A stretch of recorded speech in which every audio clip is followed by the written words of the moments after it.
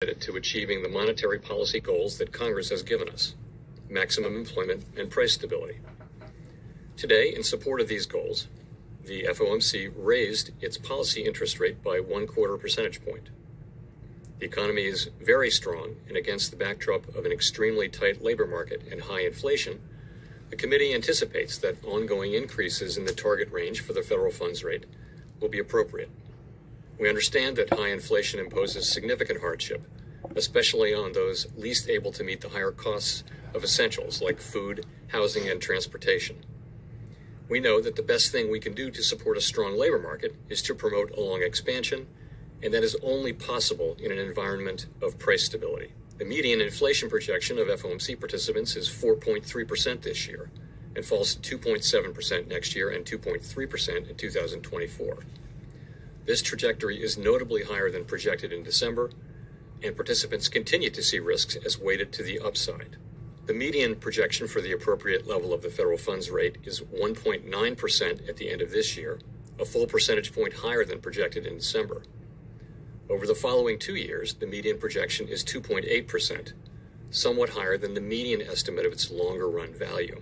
In my view, the probability of a recession within the next year is not particularly elevated and why do I say that? Aggregate demand is currently strong, and most forecasters expect it to remain so. If you look at the labor market, also very strong. Conditions are tight, and payroll job growth is continuing at very high levels. Household and business balance sheets are strong.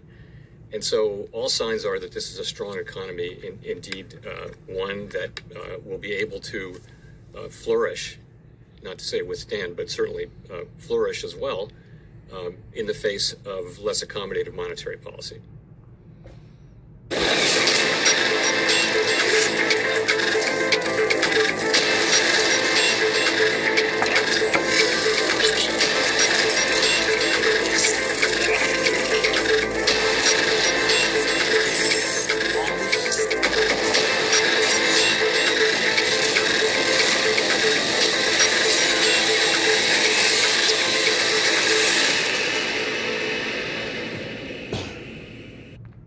Good morning, 9:21 a.m. Eastern Standard Time on the East Coast in the United States of America.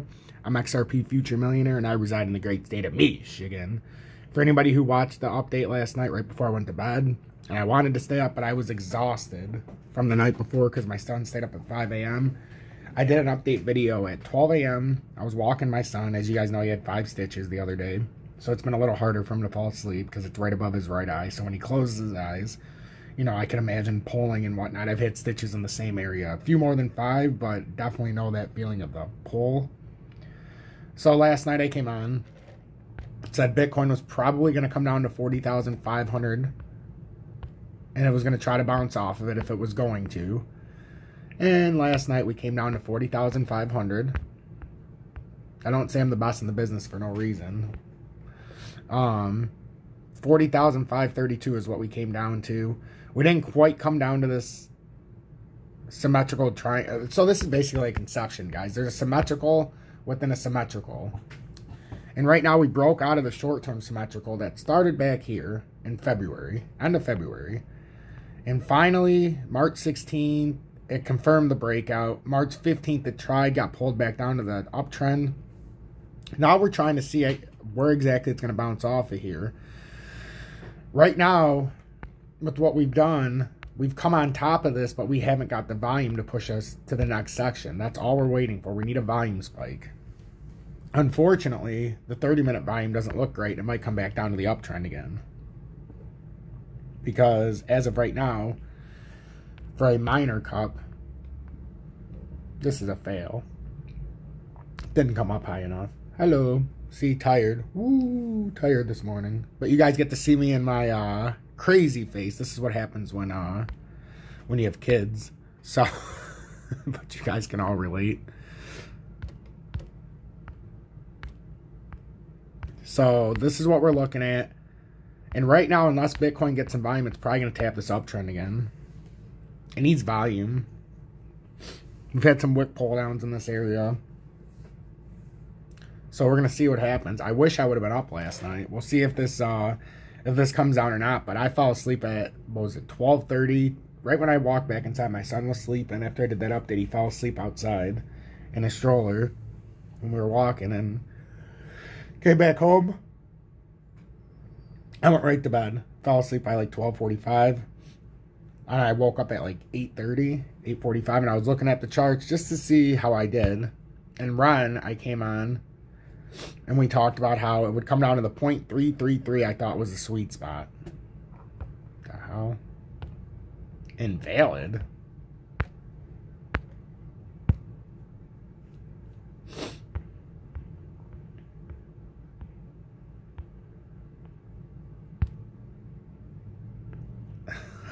So I talked about how the sweet spot was 33.3. And I wake up and I'm so mad that it happened. It went down to like 33.29. So I missed it by literally some micro points. 33.260. And I said the sweet spot was 33.3.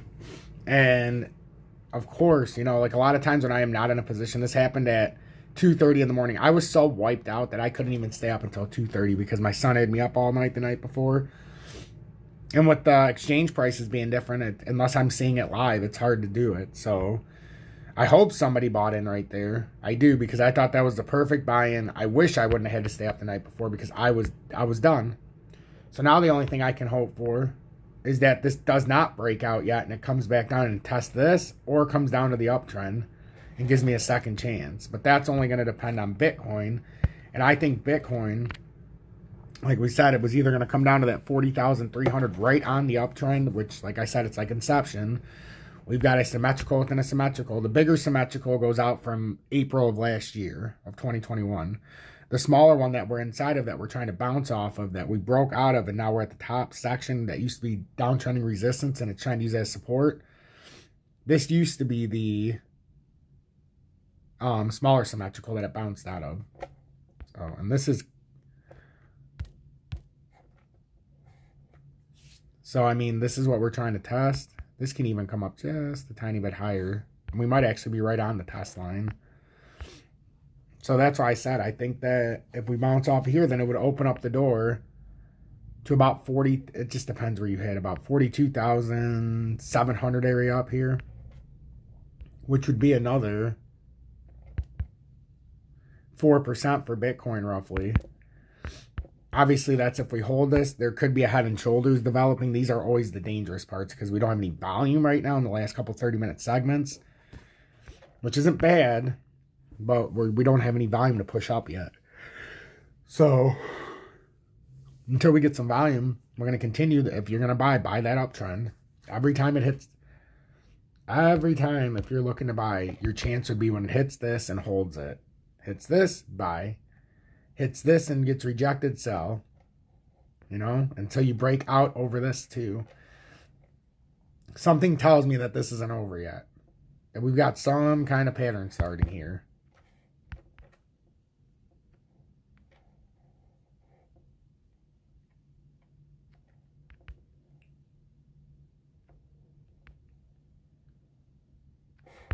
Like, and if we are starting something like this, is it possible that we have to come on this pattern still and come to here before it would shoot out. I don't know. That's what I'm watching, but at any point, Bitcoin can break out. It's just, I'm watching it very carefully because if it fails any of these areas, it's going to come back in and we're in a whole shitstorm right now. Because we're stuck. We're stuck in between a symmetrical triangle and a much bigger symmetrical triangle. So, it's the inception of Bitcoin. But I do think that was a spectacular call with Ren and even XRP and Bitcoin. I've been talking about this. And XRP came down, touched the top of the uptrend, and now it waved over just a tiny bit. So we've gotten out of our gray area now. Which the gray area is a down channel if it wanted to stay in it. But this is a symmetrical triangle, just like Bitcoin. We have a much larger one that goes out to April of last year, but we got caught up in a smaller symmetrical that to this point we're still having trouble breaking out of. So we can't go to the top symmetrical until we can clear this and break it. Right now, the top of this is at about 79.2 that we need to clear. We're at 79.5. And Ren's going to be the one that is going to end up breaking my heart today because I knew exactly where to buy it But just being too tired from the night before with my son, I just couldn't stay up. Had it have been any other night, I'm usually up until 2.30. Isn't that funny? So, hopefully somebody got in on that. Excuse me. So I'm just waking up here. But that's what I'm seeing in the market. We got XLM. Let me go to the 30 minute time frame. We're not getting that killer volume that we need. And right now, XLM is similar to XRP. It's getting stuck in a section. And if we can't break this, we'll have to come back down to the bottom of the channel and retry. And I'm not, I know we're going to pump. It's just, are they going to bring us all the way back down to the support areas? Nobody really knows. But right now, unless we were to come down pretty hard, which is possible here this morning, I would say Bitcoin, what would we be looking at? I'd say it's going to keep retesting this uptrend until it can find the proper support. But if it really wants to break the or bounce on the uptrend, it's going to have to do it on the uptrending line. And that's this line right here. So unless we're planning on hitting the uptrend up here somewhere like this, it could have to come down and X could mark the spot here. We don't know. That's what happened with XRP and it marked it perfectly when I drew out these. And we said it's very possible for XRP that X could mark the spot. And guess what happened? We just missed X marks the spot to be the exact bottom, which it was the bottom. It was such a perfect drawing. So that's what we're looking at. Like we said, with XLM, it's the same thing. And if we have to come down, it's not going to be pretty. We want to get topside of 1908. That's a major support in the area. But we also want to stay on top of this line, which is 1884, which we just came down below. So it is possible we have a further consolidation until the breakout. It's just some things are going to be a slight bit ahead. And unless Bitcoin just decides to fall off a little bit, it's going to be hard for some of these other ones to dump. But I think Bitcoin's going to have to respect this uptrend. It didn't have enough volume. That 90 minute said we didn't have enough volume to break out yet. It needs to come down to the up to this downtrending resistance line. So that's what I'm seeing. That's what I'm feeling. XRP Future Millionaire. Make sure to hit that like button, turn that bell notification all, and subscribe to the channel if you're new returning. I want to thank the more than 8,000 subscribers of the channel. That's right, we went over 8,000 subscribers. I personally want to tell you, join Tom's Army, $9.99 a month. There's simply no reason not to. We've got 262 members in here. We talk so much about what's going on in the current market that you guys can't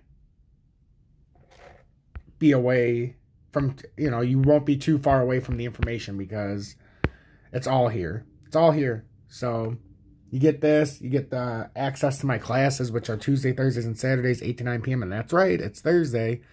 It's $5. That's all I charge, $5 a class. And the only way to get that is to join Tom's Army to get the exclusive Telegram. So you get the Telegram. The Telegram gets you the classes. The classes get you knowledge. So make sure to hit that like button. Hashtag be better, do better. Hashtag FUD Assassins. And remember, help one person each and every day. Because if you don't do your part and I don't do my part, there's really no point